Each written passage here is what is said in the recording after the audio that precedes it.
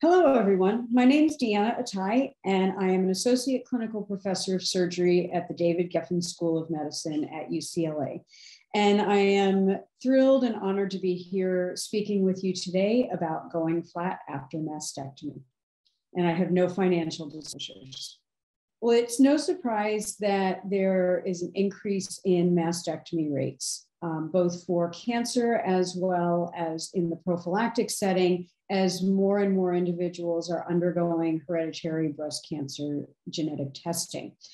And along with that rise in mastectomy rates and possibly, possibly fueling that rise are increasing options for reconstruction. There are a lot of choices now, both implant based and autologous or using one's own body tissue or a combination. And there are several studies that report patient reported outcomes showing that quality of life is improved among those who have reconstruction compared with those who do not. But many women do not want or cannot have reconstruction. Sometimes there are tumor factors that preclude reconstruction. For some women, their breasts are just not that important to them, and having the reconstructive procedure is not something that they are interested in. And there are a growing number of going flat individual advocates, support groups, and advocacy organizations. And the National Cancer Institute has recently defined aesthetic flat closure and given it a formal definition on its uh, in its dictionary of cancer terms. An aesthetic flat closure refers to a type of surgery that's done to rebuild the shape of the chest wall after one or both breasts are removed. And this can involve additional surgical procedures um, to make sure that there is as flat and as neat a closure as possible. Now, aesthetic flat closure can be performed at the time of the mastectomy, and the breast surgeon may or may not enlist the services of a plastic surgeon for assistance, depending on how complicated the flat closure is anticipated to be. But aesthetic flat closure could also be done at a later point in time. For example, someone that has implant or autologous flap reconstruction may decide later to have the reconstruction removed or may need to have the reconstruction removed for various reasons. The recovery will depend really on the extent of the procedure and whether the flat closure is done at the time of mastectomy or whether it's done as a delayed procedure. And I think it's also important to note that just as with any other type of reconstructive surgery, it is a process, not a procedure. And it's not unusual that more than one surgery is needed to achieve the aesthetic flat closure results that are desired. And I'd like to highlight two recent publications um, and studies that really get to the patient perspective on uh, aesthetic flat closure and going flat. So the first study, uh, the senior author was Dr. Don Dizon, and this was published uh, last year. It was a social media survey of women who decided not to pursue reconstruction. The goals of the survey were to better understand the preoperative decision making process, the interaction that patients had with their breast surgeons and their overall experiences. And really, the credit to this study goes to an undergraduate student at Brown University, Colette Barr, who this was her idea. And she approached Dr. Dizon and some of his colleagues, and then they proceeded with the research study. So this was a Facebook survey. They developed an original survey and distributed it to two um, going flat Facebook groups, the breast and the sea and flat and fabulous. And the survey was designed with input from the moderators of these Facebook groups. And these are some of their results. You can see that the majority of the patients, the, the lighter colored bars are somewhat agree and strongly agree. So the majority of patients felt they were knowledgeable about their options, well informed about their options, that their doctors showed empathy, that they felt supported, and the overwhelming majority felt that they made a decision that was right for them.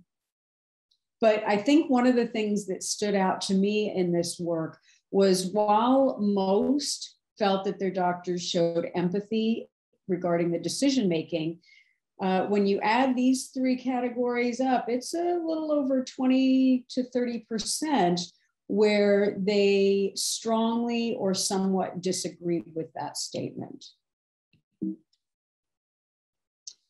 And then they asked whether or not patients received educational materials to help them guide the decision making process. And about a little over 50% either did not receive materials or they weren't sure. It was only 44% that received some educational materials. And regarding whether or not they felt these materials were helpful, um, you know, it's kind of a mixed kind of a mixed response there. And then they asked, did women seek out images of what the different surgical options would look like? And the overwhelming majority did seek out images. Um, and most felt that these images were very helpful in making the reconstructive decision and that they helped with acceptance of their own surgical outcome. And then some of the comments, the open-ended responses that patients um, provided in their, in their surveys, um, as far as their overall post-surgery satisfaction, um, a couple comments that really stood out to me is needing to push their provider to go flat, receiving different surgical results than agreed upon or expected, not feel not receiving information from the physician and having to research this on their own. Um, what do you wish your doctors had done differently? Provide flat as an option provide images of realistic outcomes. And what should doctors know about the patient perspective? Listen to and trust your patients and patients want to hear all of the options including going flat. Patients are unique and expect differences. So the conclusions from this study were just under 40% of respondents felt supported. Most made the decision independently without a lot of support from their physicians. And there are not really good uh, decision aids. Many women had to go and search for information on their own. And that women want going flat discussed as an active option along with all of the reconstructive options, not as an afterthought. And so a little bit inspired by Dr. Dizon's study and based on some of the conversations I was having with flat advocates, I uh, and some colleagues also embarked on a survey study. And some of the inspiration for this next uh, study was seeing many, many studies in the surgical literature showing that women who had reconstruction had better quality of life, but then being exposed to many different advocates in the online space and in the social media space who were very, very happy with their decisions. And there just seemed to be a disconnect to me between what was being reported in the surgical literature and what I was seeing and hearing from the patients themselves. And in looking into it a little bit more deeply, what many of the surveys, uh, many of the studies that showed improved quality of life with reconstruction, what many of them had in common is they used a common um, patient reported outcome tool called the Breast BreastQ. Now, Breast BreastQ has been used for a number of years um, probably over 10 years now. It's been well validated, and there are multiple modules. So there are modules for mastectomy alone, for mastectomy with reconstruction, for breast conserving surgery, and for monitoring of lymphedema. And all of the modules have questions about quality of life and satisfaction with various aspects of care. But in looking at the BreastQ, some of the things, especially in regarding to the going flat population, really struck me. First of all, the questions are asked with breast area in mind. And someone who has gone flat may feel that they no longer have a breast area. So, how do you necessarily, how do you answer the question if the question isn't worded in a way that actually makes a lot of sense to you? Um, one of the questions is how comfortably do you feel your bras fit? Well, maybe one of the perceived benefits of the surgery is never having to wear a bra again. So, again, how do you answer this survey? There is no box for not applicable or an open ended response or a comment. Some of the other questions in the past week how often have you experienced? Again, how often have you experienced difficulty sleeping, tightness, pulling, tenderness in your breast area? If you no longer feel you have a breast area, how do you answer these questions? And are your responses really accurate? Um, and again, with breast area in mind, um, and these are questions that are meant to assess psychosocial well being. Um, and I think I, I just had some challenges with some of these questions. Do you feel of equal worth to other women, feminine in your clothes, um, like other women and attractive? Well, you know, again, for any of us, um, I think many of us work very, very hard to not um, have our own perception of well being influenced by how others look. And we, I think, all try very hard to just value ourselves for who we are and what are and and how our bodies are so these were some of the things that stuck out to me in looking at the BreastQ and and seeing how the surveys showed that women who went flat had poor quality of life maybe it wasn't that a problem necessarily with the surgery maybe it was with just how the questions were being asked. So what we did was partnered with patient advocates, and Dr. Dizon joined on this study as well. Uh, we partnered with patient advocates in the Going Flat community, and we developed our own survey. Um, and we had, uh, just like Dr. Dizon and his colleagues did for theirs, we had input from the patients. Um, and I think that's an important point because if you're not asking the questions in a way that makes sense to the patients, then you may not get accurate results. And so we assessed reasons for going flat, factors associated with satisfaction. And one of the things that we had heard from a lot of the patients was this concept of flat denial, which includes the surgeon not initially discussing going flat, the surgeon actively discouraging going flat, or the procedure that was agreed upon was not performed. In other words, a woman woke up with excess skin and was told later that it was in case you change your mind. So the survey was designed with the input of four patient advocates. We distributed it over Facebook, Twitter, and other social media. We had it open only for one week because we were up against an abstract submission deadline, but we received 931 responses in just one week. So clearly, a lot of women wanted to have their voices heard on this topic. And these are some of the reasons for going flat. The most common was to avoid a foreign body, lower health risk from the additional surgery, lower complication rate, um, shorter recovery, and avoid surgery on another body area. Almost 50, a little over 50% felt that their breasts were not important for their body image. Um, and these numbers don't all add up to 100 because uh, people were able to click as many options, uh, as many choices that applied to them.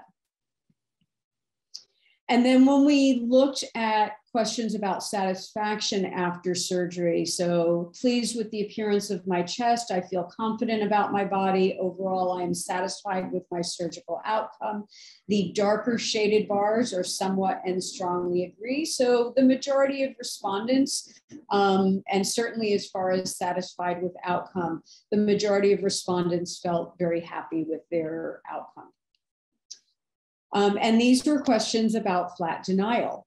My doctor performed the surgery we agree upon, offered the option to go flat, was supportive of going flat. And again, most strongly or somewhat agreed with these statements. But if you add up these last three shaded bars here, we're up to between 20 and 30% who experience some degree of flat denial. And this is kind of a summary slide of the outcomes. Um, overall, 22% experienced some form of flat denial, either not being offered the option, the surgeon wasn't supportive, or the surgeon left additional skin. And these were some of the comments from the patients. Extra skin was left in case I changed my mind, as if I didn't know what I wanted. I was told that going flat would be a mistake.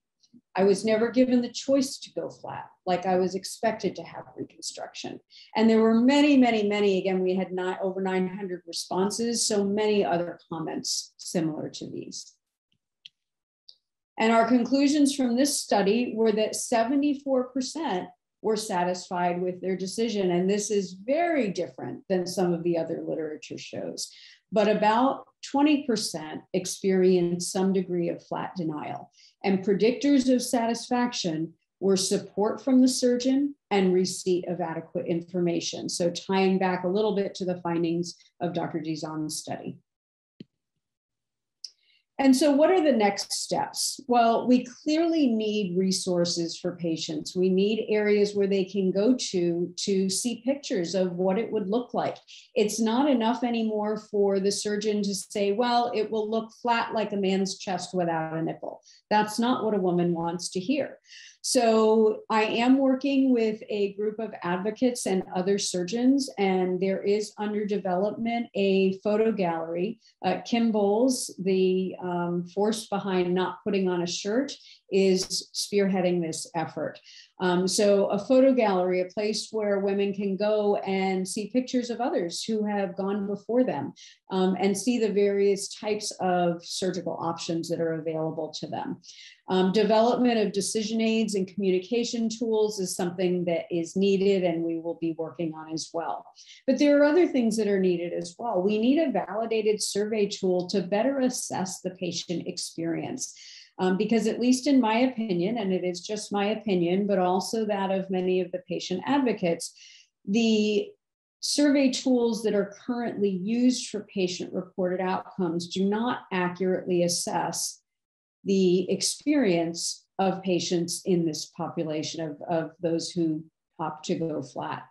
And we also need, and this will take a little bit longer, but we also need an emphasis on aesthetic flat closure techniques during surgical training, both during general surgery residency, during breast surgical oncology fellowships, and also during plastic surgery uh, fellowship training. None of the surgeons that are involved in this procedure get a lot of training or experience with aesthetic flat closure, and in part due to the emphasis um, in recent years on reconstructive techniques. But that is something that, especially once we get a validated survey tool and more input from the patients, then that's something that we can push to help change some of the training programs so that women will be able to find surgeons that have experience and expertise in these techniques. And with that, I thank you very much for your attention. I'd like to thank FORCE, the entire team, for the invitation to speak. And if there are any questions we don't get to in the chat today, then I am readily available either by email or certainly you can find me on Twitter. Thank you.